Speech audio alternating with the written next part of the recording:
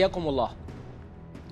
تحولات عميقة في المواقف والتصريحات يشهدها العالم تجاه الأزمة السورية. التكهنات بشأن أسباب هذه التحولات عديدة منها ما هو مرتبط بالتطورات الميدانية على الأرض ومنها ما هو مرتبط بتصاعد موجات التطرف الديني التي بدأت تداعياتها تهدد المصالح الدولية عموما. لم يعد التبدل في التصريحات يقتصر على المواقف السياسية للدول بل وصلت العدوى على ما يبدو إلى الحركات الإسلامية التي تعاظم نفوذها وحضورها بعد الاحتجاجات الشعبية التي ضربت العالم العربي مطلع عام 2011 يمثل الشيخ راشد الغنوشي زعيم حركة النهضة طليعة هذا التحول. ففي أحدث تصريحاته الصحفية دعا الغنوشي إلى مؤتمر مصالحة عربية عربية. يكون النظام السوري عضوا أساسيا على طاولته. فهل هي تحولات عميقة في قراءة الغنوشي للواقع العربي؟ وهل تؤسس مواقفه لمراجعات فكرية وسياسية داخل حركات الإسلام السياسي على غرار المراجعات التي أجرتها جماعات إسلامية في مصر سابقا؟ كيف يمكن قراءة هذه التحولات رسميا وشعبيا؟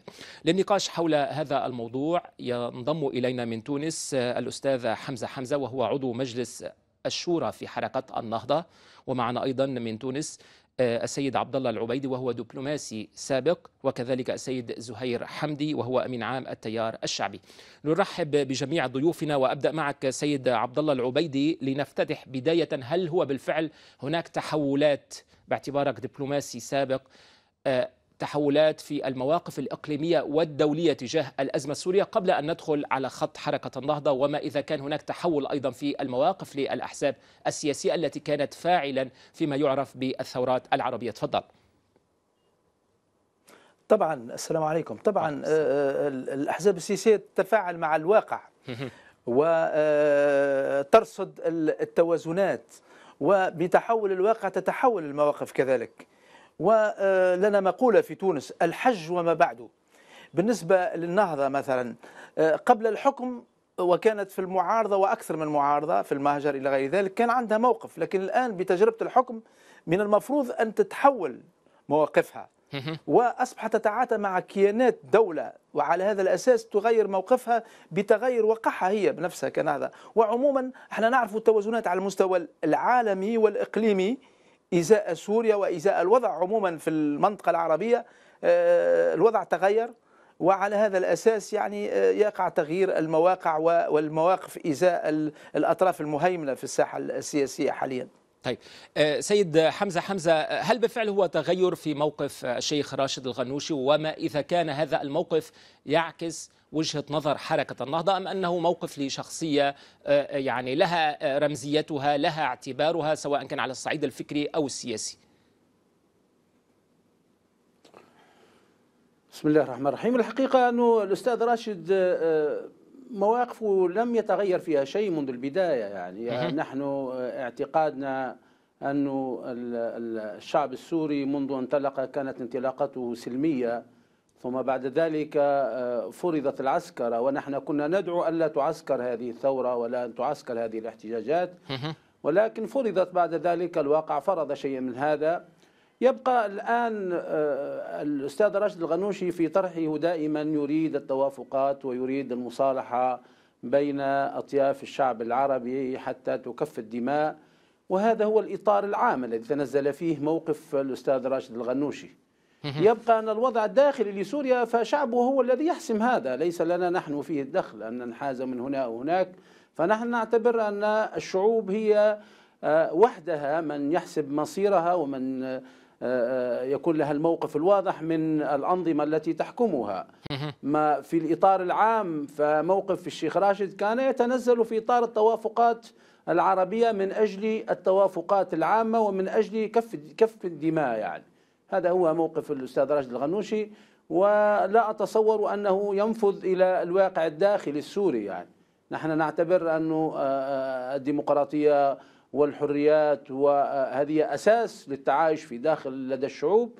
ما عدا ذلك فنتصور أن الشعوب هي وحدها من يحسم أمرها داخليا. طيب. طبعا قبل أن أنتقل إلى الأستاذ زهير حمدي كان هناك على الأقل في مواقع التواصل الاجتماعي يعني نوع من الاستغراب أو حتى بعض يعني التهكم كما يقول البعض فيما يتعلق بالتبدل في موقف حركة النهضة تجاه الوضع السوري. الآن جليت الموقف بحسب ما تقول أستاذ حمزة حمزة. لكن دعنا نقرأ من من خارج بيئة حركة النهضة لنطلع أكثر بالفعل ما إذا كان هو تحول أم في إطار سياق تطور داخل الحركة إلى ما هنالك. أستاذ زهير حمدي كحزب سياسي أنتم فاعلون الآن في المشهد السياسي التونسي ومراقب أيضا للحالة الإسلامية في تونس حتى قبل الثورة إلى الآن. هل تعتقد أنه هو تحول بالفعل في موقف الشيخ راشد الغنوشي أم هو تطور في سياق يتجلى بحسب المرحلة أكثر فأكثر؟ طالما هو كان هناك دعوة إلى ما يعرف بأنه تحقيق تطلعات الشعوب وخلق نوع من مناخ الحوار اللي هو ترجم إلى حد ما فيما يقال على الواقع التونسي بعد الانتخابات التي جرت مؤخرا. أعتقد أن السؤال الذي يطرح نفسه اليوم آه، ما الذي تغير حتى تتغير هذه المواقف؟ أعتقد أن الذي تغير هو المشهد برمته المشهد ميدانيا في سوريا والمشهد الإقليمي والمشهد الدولي. هذه حقيقة أعتقد تبنى عليها اليوم كثيرا معناها من المواقف ورأينا أن حتى قوى عظمى أصبحت لها مواقف مختلفة تماما وأصبحت من دعاة الحل السلمي الذي طالما ندت به يعني كل القوى يعني الموجودة في المنطقة. الموقف موقف حركة النهضة يتنزل في هذا الإطار وهو موقف تقريبا ستتلوه ربما من كثير من جماعات الإسلام السياسي الذي جرب خلال الخمس سنوات الماضية والذي نعتقد أنه يتحمل هذا التيار برمته ما حصل في سوريا. أعتقد أن هذا التبدل من حق هذه القوى أن تغير مواقفها في ضوء تغير موازين القوى ولكن أعتقد أن على هذه القوى أن تسأل ما الذي أوصل سوريا إلى هذه المرحلة؟ الذي أوصل سوريا إلى هذه المرحلة على الأقل بالنسبة لنا نحن في تونس نتحمل جزء من هذه المسؤولية. يتحمل الذين حكموا تونس طيلة ثلاث سنوات جزء ولو بسيط من هذه المسؤولية إما بتسهيل يعني تسفير الشباب أو ب يعني طرد السفير السوري وقطع العلاقات الدبلوماسية مع سوريا. وكذلك يعني احتضان مؤتمر أصدقاء سوريا والدعوة إلى إسقاط النظام السوري في تدخل غير تدخل سافر معناها في يعني شؤون دولة صديقة وأعتقد أن هذه القوى هي التي ساهمت بشكل أو بآخر مثل ما ساهم حلفائها في يعني سوريا وفي المنطقة وفي الإقليم وفي الدول المجاورة لسوريا على غرار النظام التركي وعلى غرار السعوديين والقطريين. كل هؤلاء هم يعني لهم مرجعية واحدة وتيار سياسي واضح بعينه هو الذي كانت له اليد الطولة وهو الذي يتحمل مسؤولية كبرى في الدمار الذي لحق سوريا لأن الذي لحق سوريا لم يلحق النظام السوري بقدر ما كان الهدف الرئيسي منه هو تفكيك الديانة الكيان الوطني السوري وتفكيك الدولة السورية وتفكيك الجيش السوري مثل ما فكك الجيش العراقي. أعتقد أن هذه المجموعات قد انخرطت في لعبة دولية كان الهدف مطلوب رأس سوريا وليس رأس النظام السوري فقط. ولكن أعتقد أن اليوم المشهد بات مختلفا تماما. وهذا بالتأكيد يرجع اولا وأخيرا إلى صمود الشعب السوري وتحية إلى الشعب السوري وإلى صمود الجيش العربي السوري الذي قاتل في مئات الجبهات في مرة واحدة كما لم يقاتل أي جيش في التاريخ بمثل هذا الحجم ومثل هذه القوة.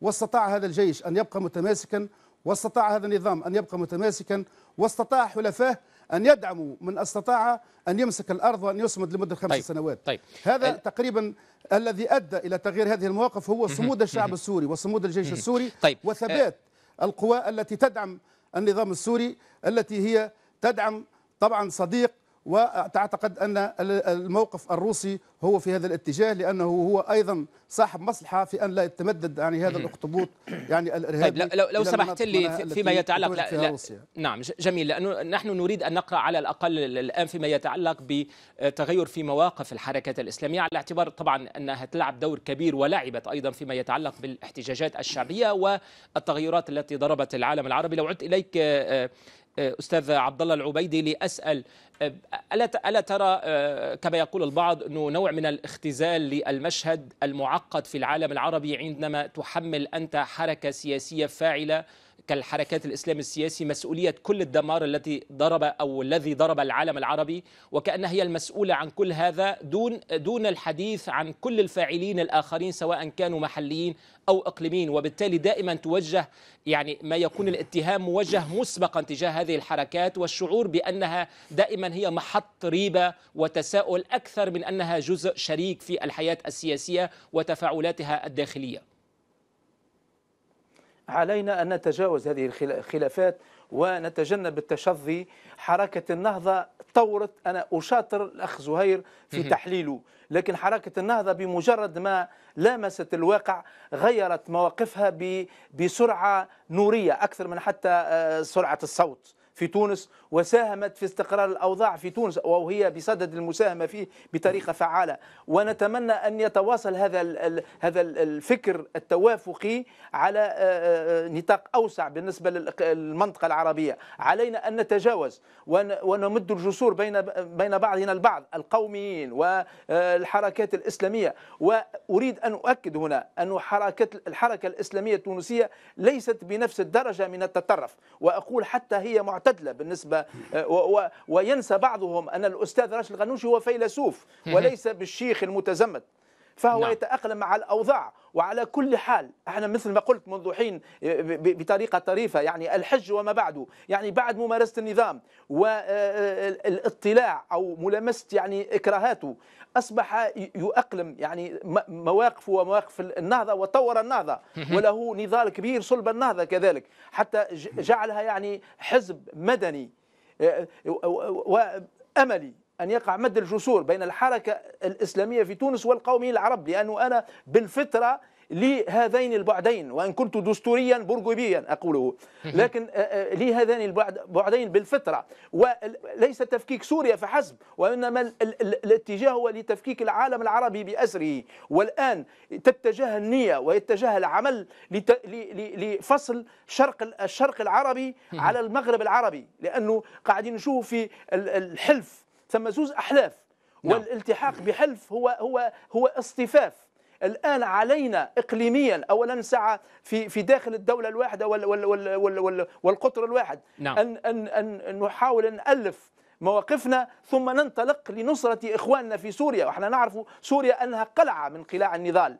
ثم خلافات داخلية وامتدت إلى الإقليم. ونعرف أنه بدون سوريا لا نستطيع أن نصنع السلم.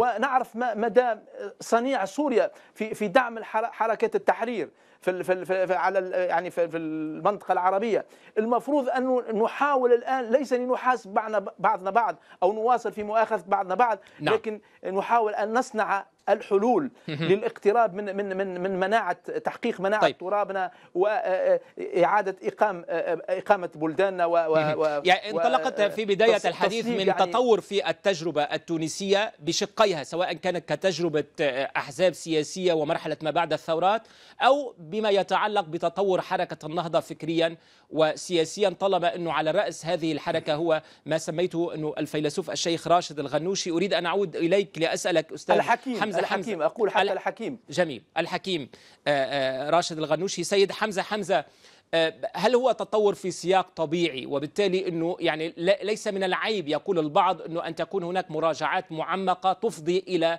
آه، يعني الاعتراف بخطأ ما قد ارتكب أو تقدير لموقف لم يكن كان سليما من قبل حركة النهضة لأنها اتهمت في مرحلة من المراحل أنها آه، إن لم تساعد على تأجيج العنف في سوريا إلا أنها كانت منحازة بطريقة غير مقبولة وغير مطلوبة لأي شخص يبحث عن السلام والحوار داخل المجتمعات لأنه القارئ في خطاب الشيخ راشد الغنوشي اليوم يرى إلى حد ما بالفعل في نوع من الاختلاف دعوة إلى المصارحة دعوة إلى المصالحة آه، بخلاف الحدة التي كنا نشهدها في العام 2011 و2012 تفضل. نعم. اولا آه، يجب أن نكون آه، واقعيين يعني. نحن نسعى دائما إلى حرية الشعوب وإلى أن تمتلك الشعوب إرادتها. وأن تملك الشعوب حريتها وهذا هو الأساس. في وطننا العربي للأسف الشديد عاش هذه عاشت هذه الشعوب ردحا من الزمن تحت الدكتاتورية وتحت الظلم. لما جاءتها الفرصة نحو الحرية نحن ما زلنا نطمح أن تكون أثمان هذه الحرية يعني أثمان توافق أثمان مصالحة. لا تكون أثمان دماء كبيرة. ولهذا نحن منذ البداية دعونا إلى عدم عسكرة الثورة السورية وعدم عسكرة التحرك الشعبي السوري. لابد أن يبقى سلمي وأن يفضي إلى مصالحات أو مخرجات من أول البداية. لكن الواقع نحن لم نكن لم يكن لنا يد فيه ولم نكن قريبين منه ولم يكن لنا تأثير عليه.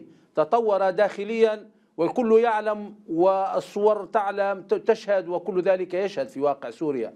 الآن تطور الأستاذ فكر الأستاذ راشد الغنوشي وفكر حركة النهضة ومواقفها هو تطور نحو الإيجابي نحو التفهم الأكثر.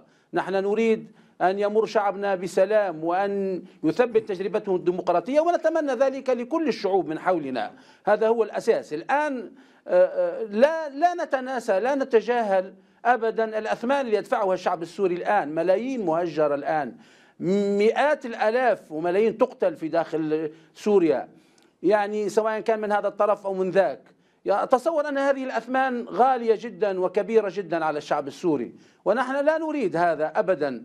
ولهذا أن يتنزل الآن موقف الأستاذ راشد الغنوشي وموقف الحركة النهضة في نفس المسار الذي سارت عليه الحركة في داخل تونس يعني نحو التوافق نحو إعذار بعضنا البعض من أجل الخروج إلى تثبيت الدولة والقانونية المؤسساتية نحو تثبيت الحريات ولكن مع وجود الاختلاف وهذا أمر طبيعي.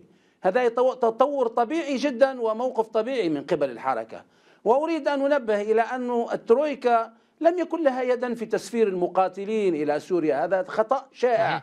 وكثيرا من اتهم به والحقيقة أنا أتحدى أي شخص أن يأتينا بدليل على ولم, أن قامت بهذا ولم تكن وراء طرد السفير السوري من, من تونس؟ منفتح. ليس هذا موضوعا. ولم تكن وراء ليس هذا موضوع طيب ليس. اسمح لي اسمح لي. أنا فقط أريد أن أقول لأن ورد في كلام المتدخل أنه نحن مساهمين من قريب ومن بعيد. نعم. أنا أقول لسنا مساهمين لأن الوضع كان هشا آنذاك ولم تكن الدولة قد اكتملت في ثباتها بعد الثورة. الآن نحن نطمح إلى أن تقوم مؤسسات الدولة وأن ندفع نحو الحرية ونحو التصالح العام في المطلق. جميل.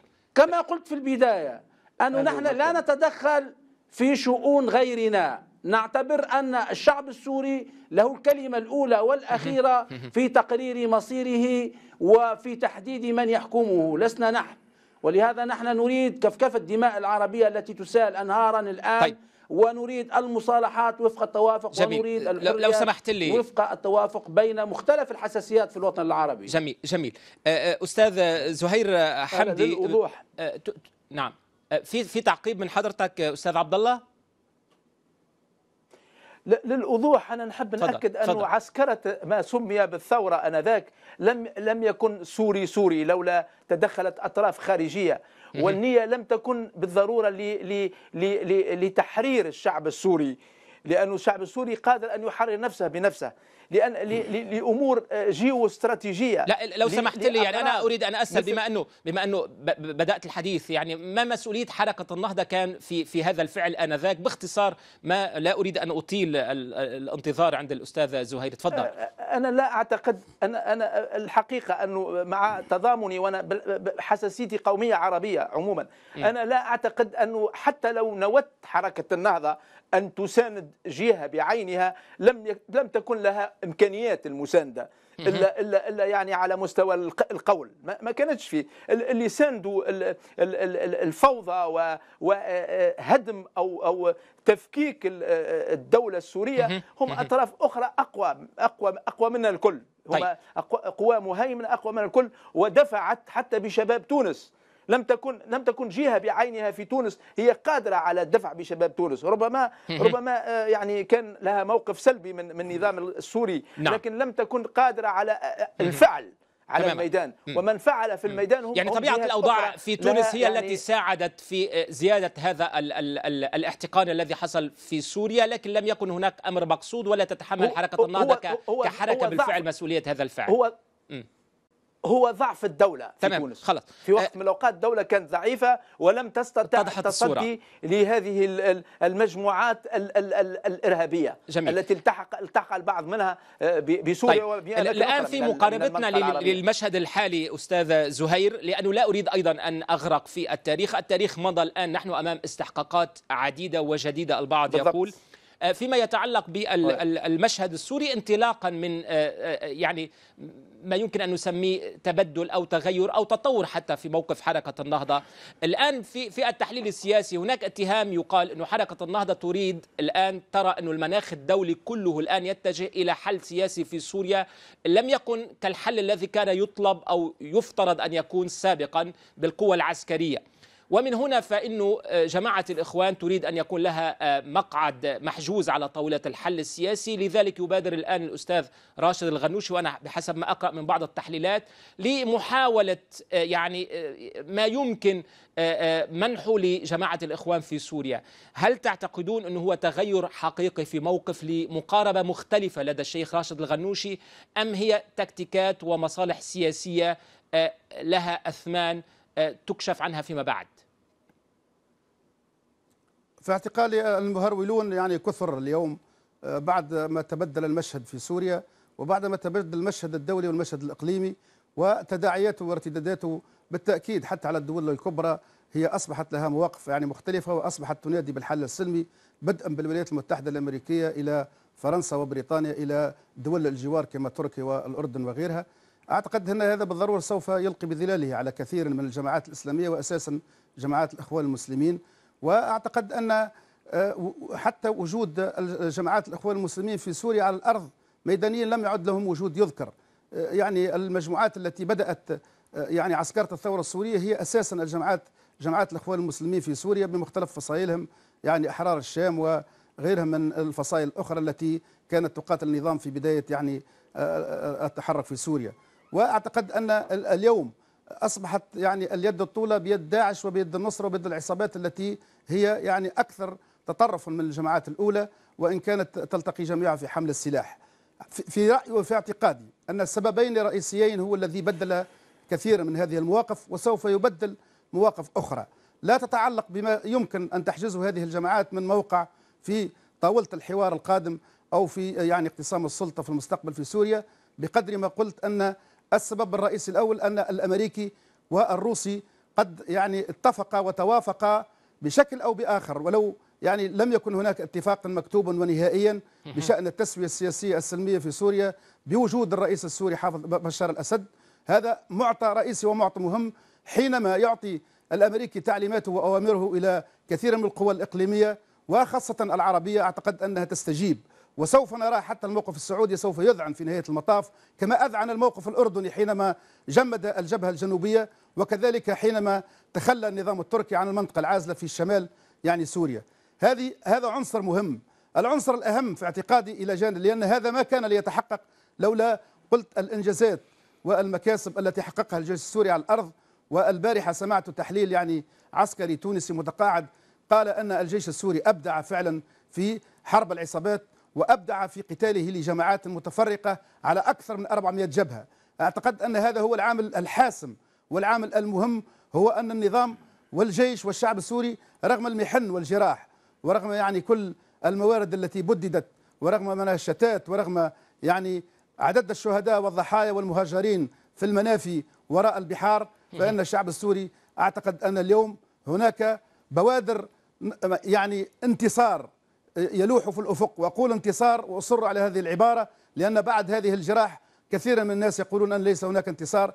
إنما أعتقد أن اليوم يجب أن نكون واقعيين أن إنقاذ الدولة السورية مثل ما ضيعنا العراق وضيعنا ليبيا وضيعنا كثيرا من الأقطار العربية نوشك أن نضيع سوريا لكن هذا الصمود هو الذي ثبت الكيان الوطني السوري وثبت وجود الدولة السورية واعتقد أن الحفاظ على الدولة السورية وعلى الكيان الوطني السوري هو مطلب القوى التقدمية العربية ومطلب مهم جدا. الحفاظ على الجيش السوري أيضا في المنطقة طيب هو أيضا حتى لا أحرق المراحل في, في هذا النقاش. الآن لدي فاصل إن شاء الله بعد الفاصل نكمل النقاش مع ضيوفنا بكل تأكيد. سأعود إليك بكل تأكيد لنستمع لوجهة نظرك. بعد الفاصل مشاهدينا أرجو أن تتفضلوا بالبقاء معنا.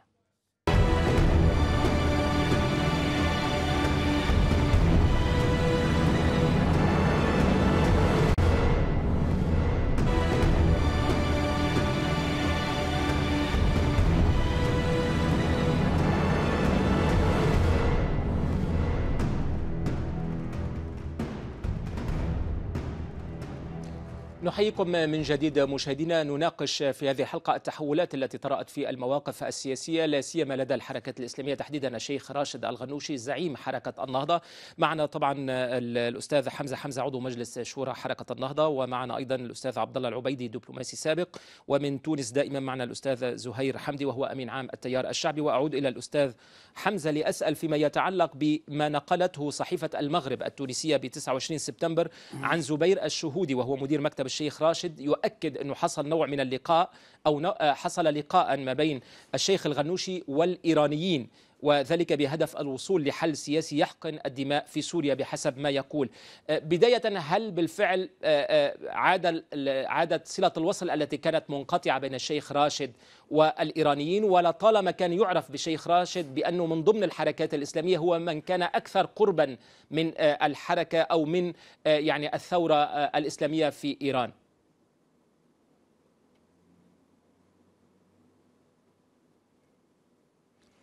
أستاذ حمزة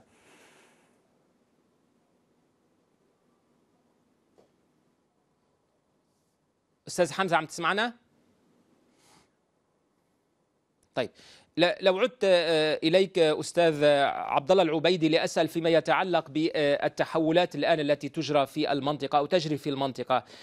تقديرك هذا التحول هل سينعكس؟ لأنه كنت تتحدث عن محاور.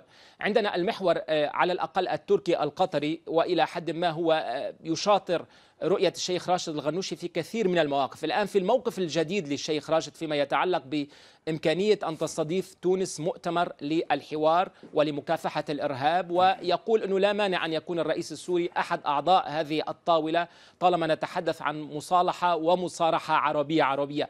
هل هذا يعكس موقف لدول قريبة من خط الشيخ راشد؟ أم أنه نوع من التطور فقط مرتبط بالشيخ لا يمكن أن ينعكس على محور متمثل به في المنطقة؟ وظهرت حقائق جديدة تركيا الآن بدأت تشعر بالخطر عليها وبدأ الإرهاب يطالها وبدأت الحركات الكردية تتحرك ورأت تركيا كيف قوى غربية أصبحت تمد الأكراد في العراق مباشرة وليس عبر السلطة المركزية في بغداد بالأسلحة الثقيلة وبمعدات وأصبح الأكراد يكتسب تجربة عسكرية وارتبط الأتراك يعني الأكراد الأتراك بالأكراد يعني العراقيين بالأكراد الأتراك وأصبحت تشكل كتلة من من 40 مليون وأصبح الكثير يتحدث من القوى المهيمنة في أوساط غربية. على تكوين دولة كردية وهذا بالطبع لا يقبله يعني لا, لا, تقبله الدولة التركية هذا من ناحية. من ناحية ثانية شفنا أن أردوغان ضعف في الآونة الأخيرة انتخابيا ولم يتوفق إلى تشكيل حكومة. وعموما قطر أصبحت معزولة. شفنا كيف كيف يعني في زمن سابق يعني قبل بضعة أشهر مجلس التعاون الخليجي يعني تركها جانبا وأصبح يتعامل في بعضه إلا ما أذعنت إلى بعض شروط مجلس التعاون الخليجي. ثم تغييرات. أنا على العموم أريد أن أشاطر الأخ زهير في في في حماسه وأنا أحيي استبسال واستماتة الجيش العربي السوري في الدفاع على أراضيه. لكن بالأساس الحل خارجي الحل جاء في إطار محاور. ونحن اليوم نعيش ويجب أن ننتبه لذلك. ونحن نشترك في الرؤية أخ زهير.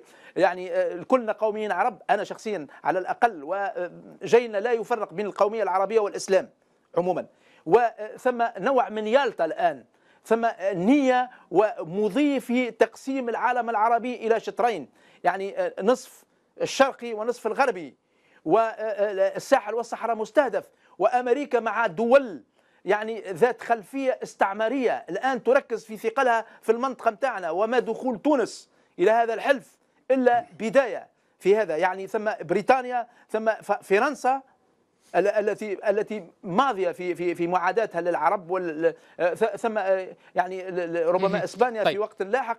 وألمانيا تتحرك باتجاه روسيا الآن. ثم يالتا جديده يجب أن ننتبه لهذا. والمهم أن أن العرب يعني تدخل في في في ثقافتهم الثقافة السياسية بتاعهم الحوار. ليس من الغريب دعني أتلقف هذه الكلمة اللي قلتها حضرتك أستاذ العبيدي وهي إنه ينبغي أن نكافح هذا المخطط بالحوار وهو دعوة أصلا وجهها الشيخ راشد الغنوشي وقال إنه هي أمر ضروري الحوار العربي عربي. لحقن الدم. بالتالي نعم هي عربي عربي طاولة حوار أو مؤتمر عربي عربي للحوار. لو عدت إليك أستاذ حمزة بما أنك الآن تسمعنا بشكل جيد كنت سألتك أنا فيما يتعلق ب الشيخ راشد الغنوشي تاريخيا كان يعرف بأنه قريب جدا من الرؤية الإيرانية في كثير من الملفات حتى أنه كان قريب فكريا البعض يقول من فكر الثورة الإسلامية في إيران. الآن يستغل هذه العلاقة الجيدة تاريخيا لإعادة بناء الجسور بين العالم العربي وإيران. البعض يتساءل هذه الخطوة اللي أكدها زهير الزبير الشرودي اللي هو طبعا مدير مكتب الشيخ راشد الغنوشي يؤكد أنه حصل لقاء لصحيفة المغرب طبعا ب 29 سبتمبر. جمع الشيخ الغنوشي مع بعض الإيرانيين وهو كان الهدف الوصول إلى حل سياسي في سوريا لحقن الدم في سوريا. أريد أن أسأل هل من معلومات ربما تستطيع أن تمدنا بها حول هذا الموضوع ابتداءً؟ الحقيقة لا, أملك معطيات كثيرة جدا عن هذا اللقاء. فلقاءات الشيخ راشد الغنوني متعددة متتالية لا أملك. ولكن أقول أن الفكرة العامة التي يملكها والتي يريدها الشيخ راشد الغنوشي هو الدعوة إلى حقن دماء المسلمين وحقن دماء العرب من أجل التوافق ومن أجل الخروج إلى حل سلمي. هذا هو الأساس. ومن أجل أن تصل الشعوب إلى حقها في العيش الكريم وحقها في الحرية وحقها في بناء دولتها. هذا هو ما يريده الشيخ راشد الغنوشي وما يدفع إليه وبأقل الأثمان وبدون الصراع الدموي الذي يفتح المجال مفتوح للتدخل الخارجي وللتدخل الأجنبي كما هو حاصل الآن في سوريا. أطراف عديدة وتكاد تكون القضية تخرج من أيدي اللاعبين الأساسيين طيب دعني أستفيد منك مرة أخرى سيد حمزة لأسأل فيما يتعلق ما إذا كان معلومة ربما أو تحليل باعتبارك يعني عضو أساسي في حركة النهضة الشهودي اللي هو طبعا نعم. مدير مكتب الشيخ راشد يقول في لنفس الصحيفة أنه هذه المشاورات التي أجراها الشيخ راشد مع الإيرانيين لم تكن مطلقا فقط من بدوافع ذاتية وإنما كان أو سوق لهذه الفكرة الشيخ راشد لدى أنظمة ودول تربطها علاقات جيدة مع حركة النهضة بحسب ما تقول الصحيفة التي تجتهد الصحيفة وتقول أنه المقصود بها تركيا وقطر بمعنى وكأنه الشيخ راشد هو يمد الجسور بناء ربما على إشارة أو تماشيا مع رغبة أيضا تركيا قطرية بهذا الخصوص هل يمكن أيضا أن يكون هذا التحول ربما في تقديرك أم إنه فقط هو اجتهاد شخصي للشيخ راشد قد يكون؟ على كل حال هذه المعطيات لا أملكها ولا أتصور أن زبير أيضا يملكها ولكن ليست هناك معطيات دقيقة بالضبط. هل الشيخ راشد يقوم بهذا دور. ولكن أنا أتصور انه تفكير الشيخ راشد مبني على هذا الأساس مبني على الدعوة كما دعا في التجربة الليبية إلى التوافق إلى حقن الدماء إلى عدم فتح الباب إلى التدخل الأجنبي. فأيضا دعا أيضا في مصر إلى هذا الأمر. وهو يدعو في سوريا إلى هذا الأمر. وأتصور أن إيران لاعب أساسي في المشكلة السورية وفي القضية السورية ولا أتصور أنها لا تكون معنية بهذا بهذه الدعوة يعني. ولا بد إذا كان هناك أي تحرك تحت أي منطلق لا بد أن يمر عبر الإيرانيين. ولهذا أن يلتقي الشيخ راشد برموز إيرانية أو بأطراف إيرانية وأن يتحدث عنها فهذا أمر طبيعي. لا, لا, لا, لا لماذا يعني نصد الباب؟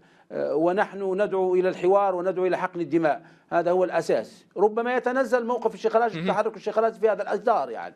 نعم نعم. أن يكون يجسر بين أنظمة أو بين أناس أو بين أطراف هذا قد تكون نتيجة طبيعية ولكن ليست هناك طيب هل هل هل هل بالإمكان تكليف واضح أو شيء معلوم يعني؟ جميل جميل. علما انه الشيخ راشد لا يملك صفة رسمية في وإن كان يقود طبعا حزب يعني العد... راشد حزب حركة النهضة اللي هي جزء أساسي الآن من الحكومة. لكن دعني أسأل الأستاذ زهير حمدي تقديرك أستاذ حمدي هل هل يمكن للشيخ راشد برمزيته التاريخية وبالاتهام اللي حضرتك صدرته في بداية الحديث حول حركة النهضة وأثر إلى جانب حركات الإسلام السياسي في الوضع في العالم العربي.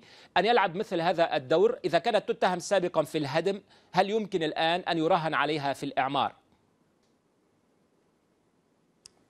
أعتقد أن الخمس سنوات هذه وما رأته هذه الأمة من مآسي ومن دمار ومن خراب بدأت الجماهير يعني العربية ترى بصيص يعني من الأمل أن إمكانية تجاوز هذه يعني الانتكاسة أو الكارثة التي حصلت طيله خمس سنوات من ضياع الأوطان وخرابها بدأت هناك بوادر للأمل أنه يمكن أن نخرج من هذه الأزمة وخاصة أن يعني الظرف الدولي وأن المتغيرات الدولية والنظام العالمي الجديد الذي قد بدأ يتشكل منذ مدة خاصة بعد ما حصل يعني في سوريا اليوم قد أحدث نقلة نوعية في عملية الفرز. هذه المرحلة قد أفرزت ما أفرزت وقد يعني حصل فيها فرز سياسي حقيقي. هناك قوى نعتقد أنها منخرطة في صميم المخطط الذي استهدف الأمة وأن هناك قوى تسعى وتحاول أن تدافع عما تبقى منها. وأعتقد أن هذا الفرز التاريخي هو الآن أصبح امرا واقعا. من الصعب جدا في اعتقادي أن تكون جماعات الإسلام السياسي وليس موقفا ايديولوجيا إنما هي هذه الجماعات هي التي صنفت نفسها على مختلف مشاربها يعني في المنطقة قد أساءت وقد أضرت كثيرا من العراق إلى السعودية إلى مصر إلى يعني تونس إلى ليبيا إلى كثير من الأقطار العربية الأخرى إلى اليمن. هذه الجماعات أعتقد لم تدخل يعني مكانا إلا وتركت أثرا يعني سلبيا فيه ولا أعتقد أن لها القدرة يعني على البناء ولكن أعتقد أن المستقبل هو الذي سوف يفرز. حتى وإن كان هناك تغيرات نتيجة هذه الظروف نتيجة هذه المعطيات الجديدة أعتقد أن المستقبل وحده كفيل آه، يعني بأن آه، يعطي هذه الأجوبة. ولكن في نهاية المطاف أود أن أقول آه، أن الذي يعول عليه فعلا هم يعني القوى التي حقيقة في تناقض رئيسي مع المشروع الاستعماري وفي تناقض رئيسي وجوهري وتاريخي مع المشروع الصهيوني. وفي تناقض تاريخي يعني حركات الإسلام السياسي هي هي مع المشروع الاستعماري ومع المشروع الإمبريالي ومع المشروع أنا الصهيوني أنا أستاذ أنا حمدي؟ موضوعيا موضوعيا التقط معه حينما خربت سوريا وحينما خربت العراق وحينما خربت مصر وحينما خربت ليبيا أعتقد أن هذه الجماعات موضوعيا قد خدمت المشروع وإن لم تنخرط فيه يعني ميدانيا وقتاليا. طيب. إنما موضوعيا هي قد انخرطت بوعي أو بغير وعي منها في نعم. هذا المشروع وقد أدت دورا سلبيا في يعني في الأمة خلال هذه المراحل الفارطة خلال الخمس سنوات الفارطة. وأعتقد أن سوريا خير مثال وخير شاهد على ذلك لأن الذين يقاتلون الجيش السوري بالضرورة ليسوا علمانيين وليسوا يعني مسيحيين أو ليسوا يعني جماعات أخرى من السيخ أو من المجوس. هم في نهاية المطاف من جماعات الإسلام السياسي على مختلف تلويناتهم من الوهابيين يعني إلى الأخوان المسلمين وما بين ما بين هذين الفصيلين طيب. من فصائل أخرى. أه، أه، لو عدت إليك يا سيد عبد الله العبيدي لأسأل التجربة التونسية كانت تجربة على الأقل البعض يقول بشفافية كانت رائدة فيما يتعلق بالتحول من أه، الثورة إلى إعادة بناء الدولة على أسس جديدة تكون تناسب تطلعات الشعب التونسي. وبالتالي لابد من محاكاتها في بلدان أخرى. لأن الشيخ راشد على الأقل يقال أنه يحاول أن ينقل هذه التجربة لبلدان أخرى. في الحالة السورية هل هو يحاول أن يفعل ذلك في الحالة السورية وإذا كان يحاول هل يمكن تطبيق أو نقل هذه التجربة؟ لأن كل الدول العربية تقول أنه هي أصحاب خصوصيات لا يمكن لتجربة أن تنتقل إلى تجربة أخرى. على الأقل آه، ثقافة الحوار. م. الشيخ راشد يعني إذا كان تونس وصلت إلى هذه المكانة المتقدمة التي نالت استحسان ورضاء بعض الملاحظين السياسيين لأن الأطراف الهامة الفاعلة في المشهد السياسي قبلت بالحوار فيما بينها. نعم. بحيث الحوار هو أساسي. اليوم لسنا في واد أن ولا في وارد أن نحاسب بعضنا بعض. اليوم يعني الشيء بغيره غيره. يعني ال ال ال الأنظمة تغيرت في العالم العربي كلها. وأصبحنا أمام وضع جديد. والمفروض أن نطور كذلك مواقفنا ولا نحتفظ برواسب الماضي. المهم بالنسبة لكل الحساسيات السياسية على امتداد أرضنا العربية أن العرب ليسوا فاعلين في الواقع اليوم. اليوم الإيرانيين الأتراك الغرب. ونحن بين كعرب بين آه، كفات الرحاء المفروض أنه إذا كان نعيد ترميم المنظومة الإقليمية ونقترب من بعضنا بعض على اختلاف مشاربنا حتى يكون لنا وزن أن نكون طرف في هذه المعادلة وإلا ستذهب ريحنا. يعني اليوم روسيا مسكت بالعروة الوثقى في الشرق العربي ولم تترك مكان مستقبلا إلى أمريكا وحلفائها. ومن من واجب أمريكا لانها لا تريد مغادرة المنطقة أن تنتقل إلى المغرب العربي. وسوف نبقى نرزح تحت نير الاستعمار باختلاف أشكاله. اليوم لم لم يبقى لنا بديل سوى الدخول في حوار مثل ما حصل في تونس ونقول أن النهضة على هيناتها إن وجدت فهي طرف اللي دعم هذا الحوار والائتلاف لأنها حزب هام في تونس مهما كانت نوايانا السياسة أصوات والسياسة وزن. وبوزنها النهضة أثرت في المسار اللي نعيشه في تونس اليوم واللي هو نال استحسان الداخل والخارج. جميل. النسبي أو يعني تراهن على إمكانية نقل هذه التجربة. لو أريد أن أسأل الأستاذ حمزة قبل الحديث عن نقل هذه التجربة إلى أماكن أخرى دعني أسأل فيما يتعلق بالحركات الإسلامية ابتداءً. هذه الحركات لطالما كانت حركة النهضة تمثل نوع من التطور حتى داخل حركات الإسلام السياسي تاريخيا وليس حديثا. والشيخ راشد كان يمثل مظلة أكبر بكثير من الوضع التونسي له. آه، هل يمكن آه، أن نجد هذا التحول أو التطور في حركات إسلام سياسي أخرى تعايش أو تعيش حالة من الأزمة المعمقة الآن والتناقضات حتى الداخلية؟ وأقصد هنا ربما في مصر في بعض المناطق الأخرى. شيء طبيعي الحركات الإسلامية هي من رحم الشعوب العربية وهي من رحم الواقع العربي. عانت من الاستبداد وعانت من القهر ومن السجون ومن العذابات. ولا بد أن ترتقي في فكرها وفي تطورها إلى سماحة الإسلام وإلى الحرية وإلى بناء الدولة وأن تتعايش بطبيعة الحال مع آه، هذا الرحم الذي أفرزها.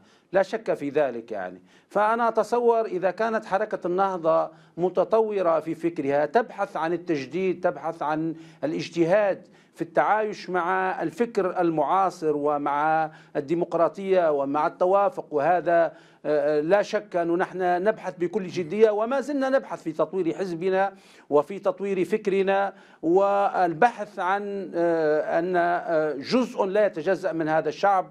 ونأمل أن حركات الإسلامية أيضا تطوق إلى هذا وهي تبحث عن هذا الفكر النير.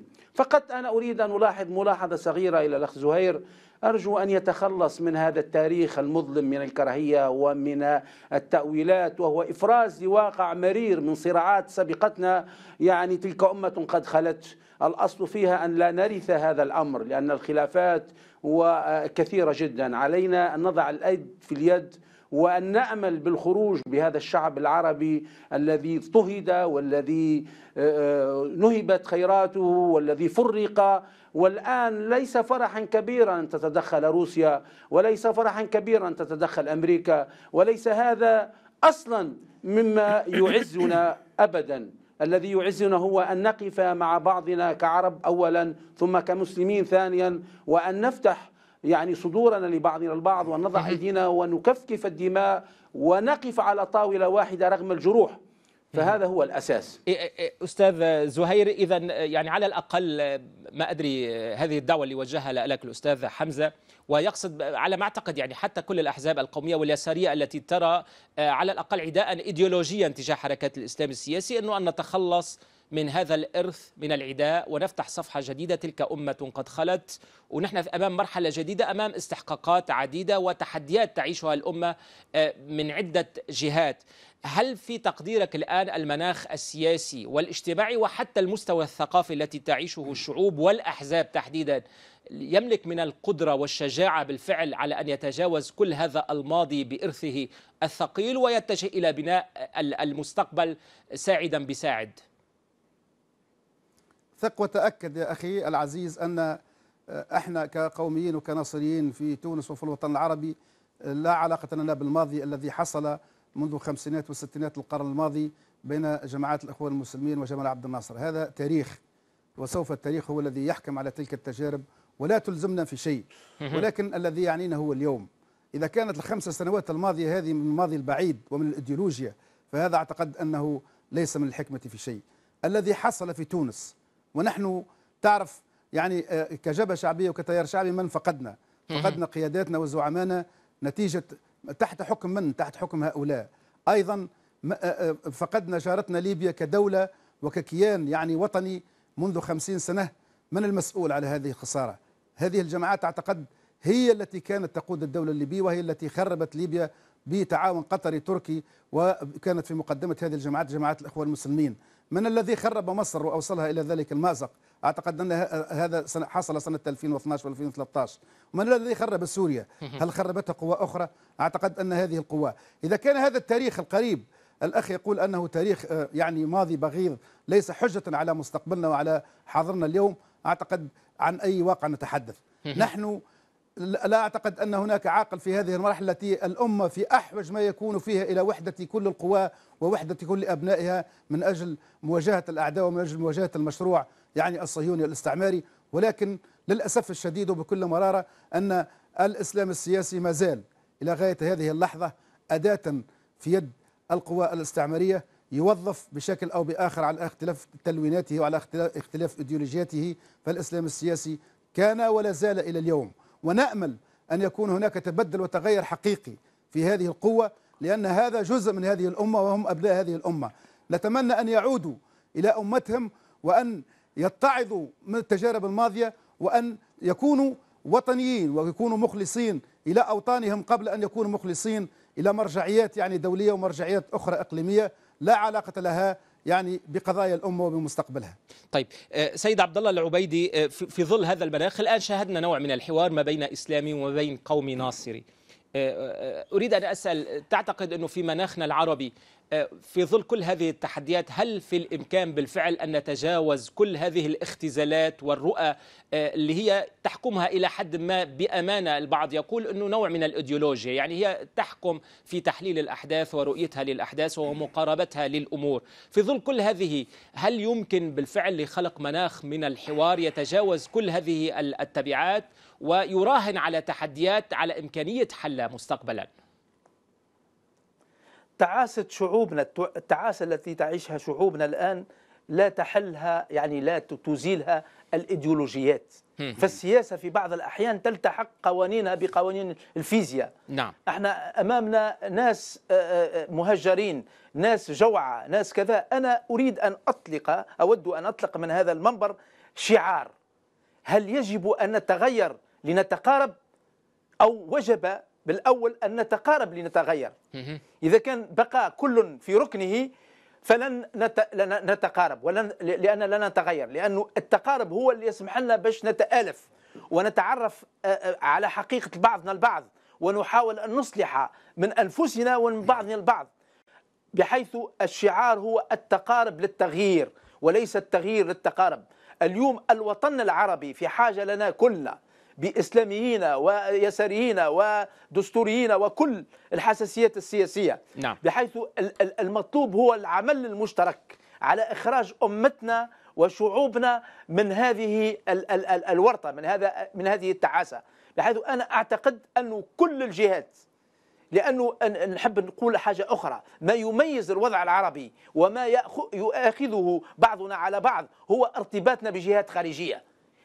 لنتمركز على الذات. ولنركز على مشاكلنا داخليا ونحاول أن نعبئ قواتنا الداخلية وأن نستثني عربي ولا مسلم على أرضنا. ثم نمضي لحل مشاكلنا لأنه كلهم اليوم يعني اليساريين كانوا مرتبطين بمراكز يعني مقدساتهم خارج الأرض العربية، الإسلاميين خارج الأرض العربية في وقت من الأوقات أو على الأقل جزء كبير فيها، العرب كذلك. لنتجاوز هذا لأنه العرب يعني إعادة التمركز على الذات والبحث عن القواسم المشتركة. أشكرك كل الشكر. طبعا آه، الأستاذ عبد الله العبيدي لأنه لم يتبقى لدي وقت. كل الشكر لك. آه، دبلوماسي سابق كنت معنا من تونس. نشكر أيضا بطبيعة الحال الأستاذ زهير حمدي أمين عام التيار الشعبي والأستاذ حمزة حمزة عضو مجلس الشورى في حركة النهضة. وكلاهما كان معنا من تونس. وكل الشكر والتقدير لكم مشاهدينا على حسن المتابعة وإلى اللقاء.